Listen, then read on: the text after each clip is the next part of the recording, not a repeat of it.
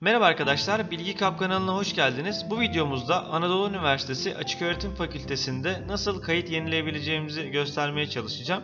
Google'a AÖF yazdık arkadaşlar. Ee, buradan linki de görebilirsiniz. Anadolu Edu.tr'ye giriyoruz. Zaten açık öğretim uzantısıyla birlikte. Sol alt taraftan öğrenci girişi diyoruz arkadaşlar. Ee, bu tasarım değişirse öğrenci girişini farklı bir yere koyabilirler arkadaşlar. Bilginiz olsun. Şimdilik buradan diyoruz. TC kimlik numaramızı yazalım. Şifremizi yazıp giriş yapıyoruz arkadaşlar. Sonrasında önümüze böyle bir uyarı çıkıyor. Önümüzdeki senelerde bu uyarı farklı şekilde de olabilir arkadaşlar. Şu anda kayıt yenileme tarihi 5 Ekim'e kadar devam ediyor. Ee, okudum anladım diyebiliriz arkadaşlar. Ders seçimi yapmadan ödeme bilgilerinin oluşmayacağı gösteriyor arkadaşlar burada. E, Ödeme yaptıktan sonra da ders seçimi yapamazsınız diyor. Ama bu ikisi birbirine çelişiyor.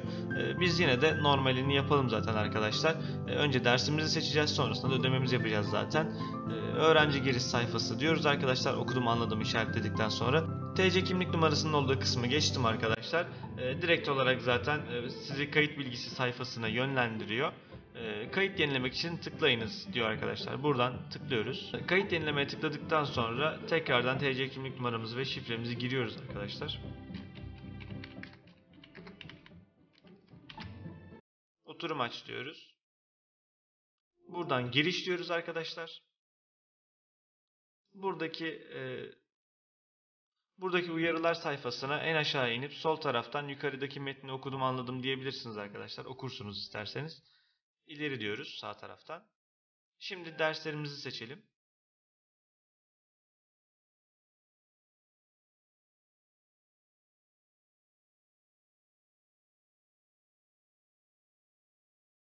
Dersleri seçtikten sonra arkadaşlar aşağıya iniyoruz yine. İleri diyoruz. Sonrasında burada tekrar bizden onaylama istiyor arkadaşlar. Hangi dersleri seçtiğimizi, hangisini bıraktığımızı görmemiz açısından. Buradan onaylıyorsak evet diyoruz arkadaşlar. Değiştirmek istersek hayır diyebiliriz. Evet arkadaşlar bizim ne kadar borcumuz olduğu burada çıktı.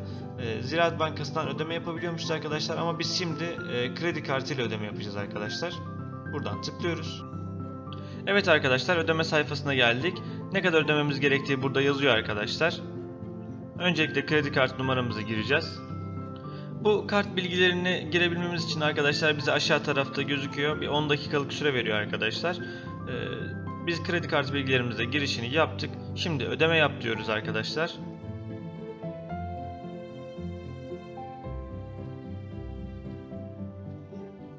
Telefonumuza bir kod geliyor. Tabi bu 3D e, güvenlik önlemi sizin kartınızda, kredi kartınızda varsa gelecektir.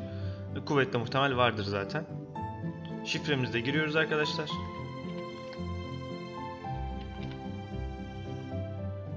Gönder diyoruz. Tamamdır arkadaşlar kaydımız başarıyla yenilendi. Başka videomuzda görüşmek dileğiyle. Hoşçakalın.